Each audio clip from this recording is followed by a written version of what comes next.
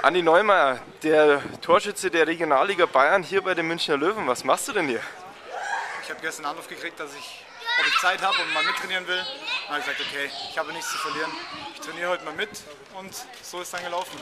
Habe ich heute mal mittrainiert. 24 Tore, das ist schon eine Hausmarke, wo man auch mal lieber Benny Laut hier im Training auflaufen kann. Gab es denn den einen oder anderen Tipp von ihm? Nö, wir haben nur kompakt verschoben, wir haben kurz geredet, wie wir spielen und fertig. War ganz lockeres Anfangs, erstes Training. Ähm, war noch nichts Weltbewegendes. Eigentlich hat man von dir gehört, dass du erstmal mit dem Fußball ein bisschen kürzer drehen willst. Du hast auch ein äh, Restaurant in München. Jetzt erzählen wir dich hier beim Trainingsplatz mit den Lö bei den Löwen. Wie geht es denn bei dir als Fußballer weiter? Das wird sich die Tage entscheiden. Aktuell ist der Stand, dass ich äh, kürzer trete. Äh, ich stehe in Verhandlungen, gebe ich zu, aber raus ist da noch gar nichts. Für die Münchner Löwen auflaufen, was wäre das für dich? Ein Traum. Ich weiß selber, ich habe drei Jahre hier gespielt. Das ist gewissermaßen mein Heimatverein auch. Drei Jahre Jugend noch gespielt. Ähm, Herz hängt da schon ein bisschen dran. Super. Warum sehen wir dich im nächsten Jahr bei den Münchner Löwen? Warum?